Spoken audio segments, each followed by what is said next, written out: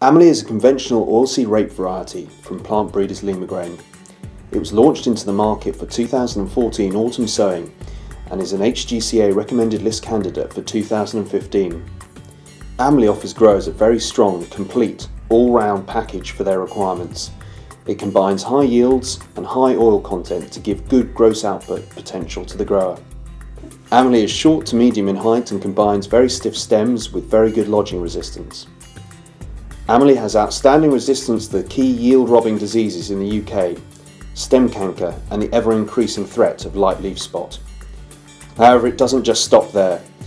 Amalie is the first commercial variety to bring resistance to turnip yellow virus or TUYV to the table. TUYV is transmitted by aphids, principally Myzus persicae, the peach potato aphid. Up to 72% of Myzus persicae are infected with TUYV, which brings a very significant threat to the crop. The effects and costs of TUYV, which are often misunderstood, can be catastrophic, leading to stunted plants, leaf reduction, fewer seeds per pod, reduced oil content and significant yield reductions. Thoughts and combinations of studies vary on this matter, but they can range from 12 to 46% yield reduction. Amalie can protect you from this.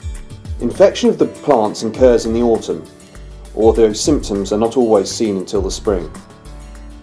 Until 2014, neonicotinoids have been available to provide the control of aphids, but for harvest 2015 this protection is not available and combined with a relatively mild 2014-2015 winter, aphid numbers have reached a high level.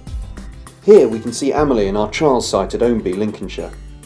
Looking around the plots we can see infection symptoms present in all varieties apart from Amalie which we can see stays green with no symptoms of infection. Limagrain has tested Amalie extensively throughout Europe for the past four years, and even in well-infected trials, we have not observed turnip yellow virus symptoms in any plot of Amalie.